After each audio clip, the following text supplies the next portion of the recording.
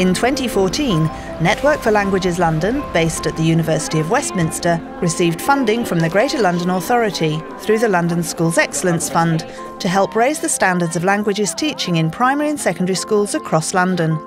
The initiative was particularly timely, as in September 2014, languages became a compulsory part of the Key Stage 2 curriculum. We would like, during the course of this morning, to give each borough a chance to tell us a little bit about what you've done so far in the project. It's not long. We know that there are a lot of teachers, particularly in primary schools, teaching languages who don't feel particularly confident.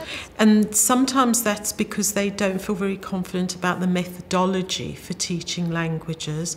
Sometimes it's because they feel that their own language skills are not robust enough. Project staff worked with schools to identify the kinds of support that they would find most helpful. So, je means I. Can you do maintenant je parle français for us? Um, now I speak French. Brilliant, good, thank you so much. So, one of the aims was to work with teachers in a way that wasn't prescriptive, but rather going into schools to find out where they felt they were and what the gaps were in their knowledge and their skills. So there were lots of really good things about the lesson and a couple of little points perhaps to work on to make it even Absolutely, better. yeah. So some of the things I, I really liked, I mean, as you said, you were, you're encouraging them to develop their language learning strategies, working out meaning. Mm. So they were using clues from the context, but also from bits of words that they knew already. It hasn't been a top-down approach. It's been a we're working with you and we're working with you to support you approach. And I think that has been a reason why the project has been as successful as it has been.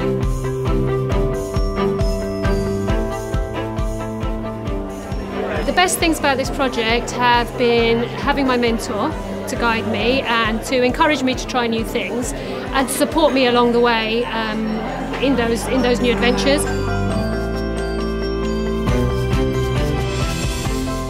The project offered support specifically tailored to school situations. Each school involved was assigned a mentor whose first job was to work closely with staff to identify their development needs in relation to languages teaching. Each term, teachers and mentors decided on a focus for the term's work and put together an action plan. Teachers found the support from their mentor invaluable. You've chosen things that are directly linked to a Spanish speaking country. So there's meaning in learning about it in Spanish. Yeah. It sort of all ties together yeah, with the culture. They have been the teachers' one to one support and buddies, really.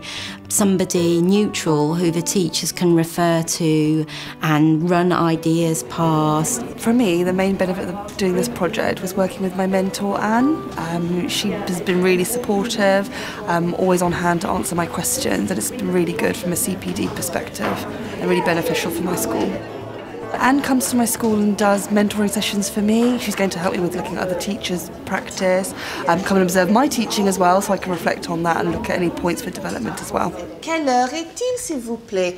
Naya. It is half past eight. It is half past eight. Mentors were also instrumental in encouraging teachers to learn collaboratively and from each other. Each term, mentors brought teachers together from schools across the borough to participate in workshops addressing common themes. They also arranged opportunities for teachers to share good practice. If one of the mentors thinks that a teacher in a particular school is doing something really well, then they'll suggest to a teacher somewhere else that they go and watch and then discuss that with the other teacher. When we have the throw and catch, how, how do you say it again? Lanzar. Lanzar, okay. And um, catch? Recibir. Recibir. I've connected with Javier through the network we've been um, a part of, and he supported me. He helped me with pronunciation. He helped me with vocabulary and the phrases because, you know, initially you start with words, but you want the children to learn phrases and sentences, and it's been very helpful. It's so much easier for me. So, what do we call a beanbag in Spanish? Saquito. Saquito. Can we all say saquito? Saquito. I didn't hear it. Saquito. A strong message from the project was that teaching improves when teachers reflect on their practice. Teachers in the project kept reflective logs throughout the project, which they discussed regularly with their mentors. The LSEF project is really about helping the teachers to understand and question their own practices. I think if you could perhaps try to um, increase the amount of French you're using yourself, because I do understand that you've obviously got some good French, mm -hmm. but you're not a specialist French teacher. Nope. Um, so you're doing really well. So just being aware of... It doesn't matter if they try something and it doesn't quite go according to plan, that's okay. But now we're going to reflect on that and see how we can go forward. I have really enjoyed all of the training provided. Um, feel all the courses have been of a really high quality and have given me lots of practical ideas to improving my practice. The majority of teachers supported by the project were from primary schools and covered a spectrum from novices to native speakers, and from those new to teaching a foreign language to language coordinators. The aim was to increase teachers' subject knowledge and improve their pedagogical skills. A confident teacher who feels secure in what they're delivering, that is going to have a positive knock on effect on the pupils learning that subject. Selena. Charlie es más pequeño. Pequeño. Pequeñ, pequeña. Sí. Que, que Rio. Muy bien. The pupils will see the confidence in that teacher, the fact the teacher's enjoying teaching the language and they'll want to learn with that teacher. To enable them to improve particular aspects of their practice, teachers from project schools were given free access to Network for Languages professional development courses at the University of Westminster. The CPD programme is very flexible and tailored to meet the current needs of the teachers. So, for example, with the compulsory introduction of languages at Key Stage 2, we have tailored our courses to really help teachers get to grips with what a good curriculum looks like. We have courses for subject leaders. And also through the project, we've been experiencing a huge interest in integrating languages across the curriculum.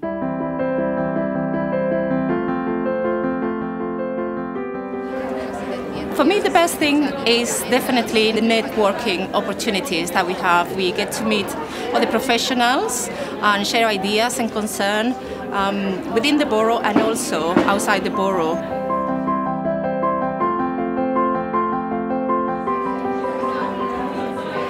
Over 75 schools were involved in the project from across eight London boroughs. Twice a year, teachers from across the project came together for a summer school held at the University of Westminster to network and to take part in workshops and other project specific activities. It's good to have other people around you, and so generally, when I go to these meetings, when people will be talking about what they did in class, it is affirmation, you know, so you don't feel like you're on an island planning, not quite sure what's going on when you see other people doing the same thing and discussing expectations and so on, it just kind of puts your mind at ease.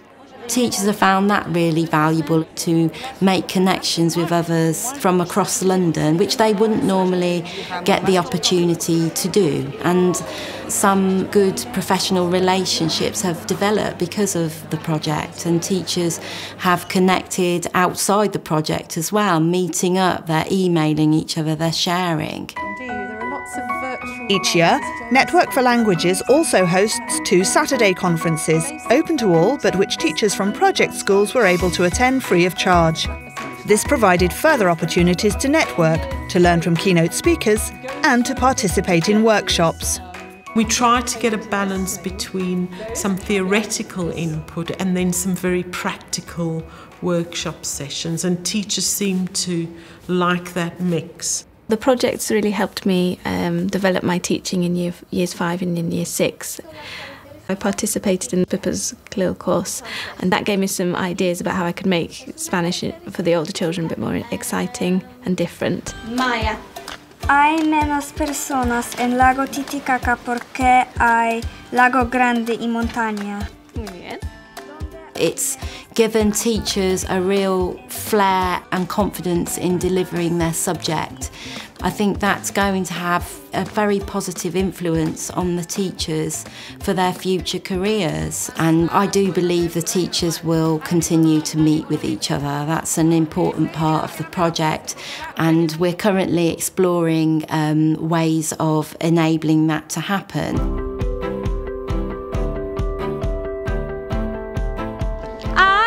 Dice un número.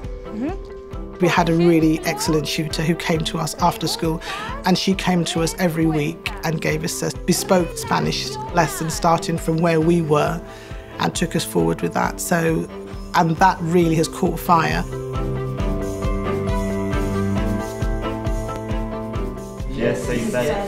Diecisiete. Diecisiete. Perfecto. The project included schools teaching French, Spanish, Italian, German, and Portuguese. And an important aim was to develop teachers' language competence. 92. 92. Okay. The University of Westminster has an extensive evening language programme, and teachers from project schools had access to classes free of charge. Summer schools also offered language workshop options.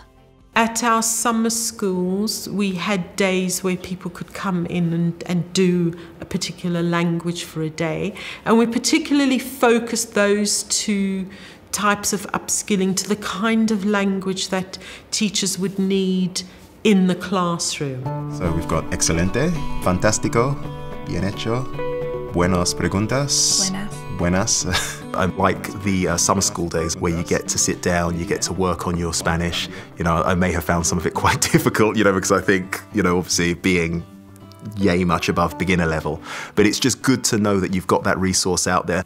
We're going to sing uh, Vamos a Remar, which is a different version of Row Row, Row Your Boat. In some schools, native speakers or teachers very proficient in a particular language worked with their less confident colleagues to help them plan and deliver their languages lessons. I wasn't a Spanish speaker at all. Um, Miss Malik, who is our language coordinator, she supported me with using Spanish in our music lessons. She'll help me translate, check the grammar, and she'll check my pronunciations as well. Okay. Rápido, rápido, rápido.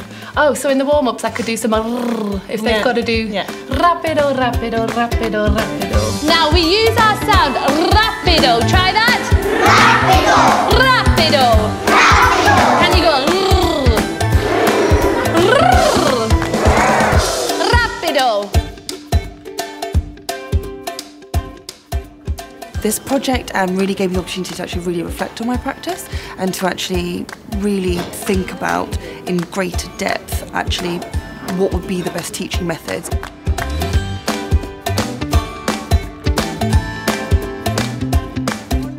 As well as supporting those just starting out as languages teachers, the project also aimed to develop the skills of more experienced colleagues and language coordinators. Qu'est-ce que c'est l'eau liquide, l'eau solide et la vapeur d'eau?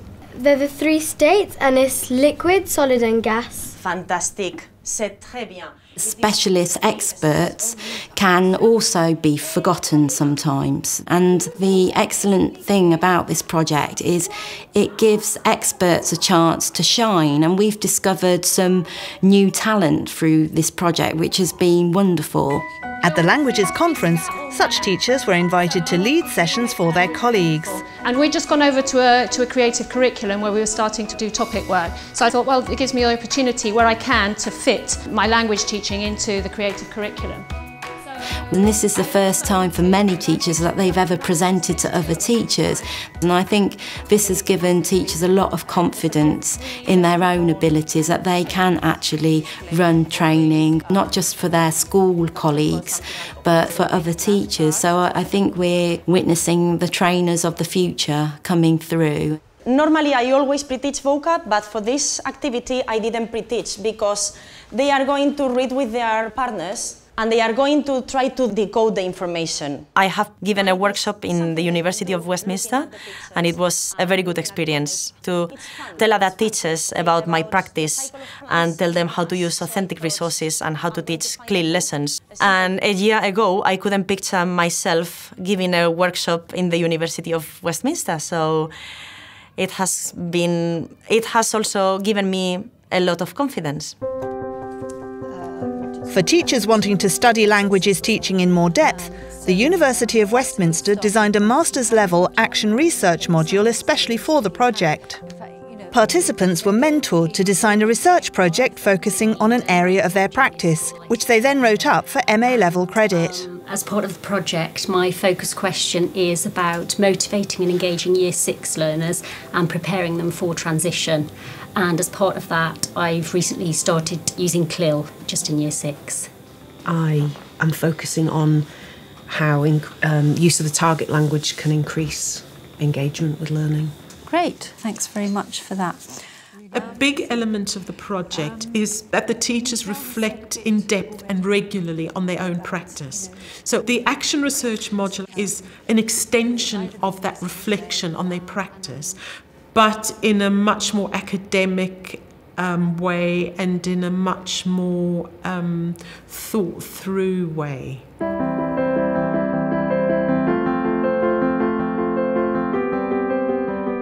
Okay, so we're going to learn a sentence now. Vamos a aprender una frase. We're going to learn a phrase.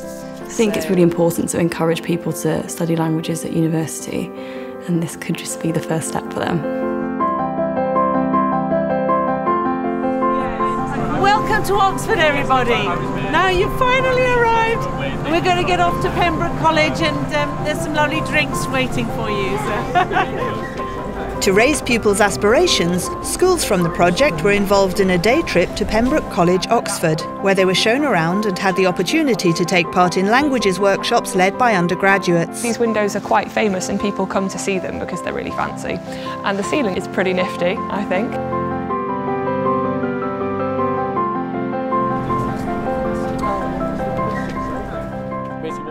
We try to bring together people from primary schools, secondary schools with students at university level so we can start to make these younger students aware of what it is that you know they can do with languages in the future um, if they if they stick with it. Anyone know what that might mean? Where does it live? Almost. That lives in. Que vive en. Okay? We had a group of year six children who went to Pembroke College, Oxford, and they had an amazing time. And to go into a, a, university like Oxford and spend time with the students is definitely inspired them. They came back and they were buzzing. So, the first body part we're going to learn is your head. And in Hebrew, head is rosh. Everyone say rosh. Rosh. Cool, good accents. I was really, really impressed by the kids. I was teaching Hebrew, which is a language that I think none of them had come into contact with before. And the way that they took on everything that I said so quickly and so willingly, it was just surprising. And that's why I think it's so important that we start teaching kids languages from a young age because they're so susceptible um, to new things at that point in time. And it's a really, really important skill for people to be able to have, especially in today's international world. Shimon Amal Legapi Gav. Shimon Amar legat bi rosh. Shimon Amar er legat bi la lot. I thought my day at Oxford was really informative. I, I love learning about the languages and learning a bit more about Spanish. I, I like the Hebrew because it was very interesting. And seeing the students and I don't know, but probably when they were my age, they wouldn't have known how to speak um, fluent Spanish, but they were really good. I think it's really important to learn languages from an early age, and I'm really looking forward to carrying on um, uh, languages when I go to secondary school.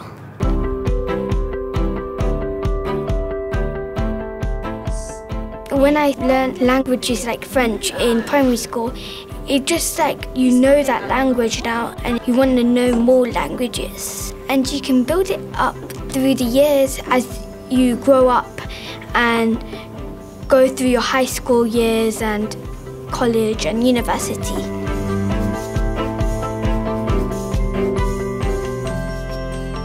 Throughout the project, Network for Languages collected data to inform an evaluation of the impact of the project which they commissioned from an independent consultant. All round, it's been a very positive picture. There has been an impact on attainment as far as pupils are concerned, which we were very pleased to be able to demonstrate because this project has had a relatively short life. Quelle est la date aujourd'hui uh, Melia. Aujourd'hui, c'est le 27. Lovely. There has been a question, oh, well, if they're learning the story in French, will their standard of English suffer? Well, I've seen quite the opposite, really. If anything, there's been accelerated progress in the children's learning of writing um, and of reading, um, and really across all parts of the curriculum. You say lundi in English like this. Monday. I totally agree with you. I hope the legacy of the project will be that we have more teachers in London who feel confident about teaching languages and feel that they're doing a good job and that they can share what they're doing with colleagues and that it will leave a legacy of more pupils studying languages for longer and then also deciding to study languages at university. I think that would be an excellent legacy if you learn one language, the first language you had, it will help you with the other language. And then when you have two languages, it's more easy for you to have to have another language. And when you have more languages, when you grow up, you'll be a really good person.